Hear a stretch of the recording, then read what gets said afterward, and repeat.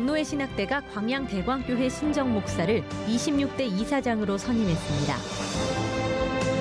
세계적인 복음주의 신학자 존 파이퍼가 처음으로 한국을 찾았습니다.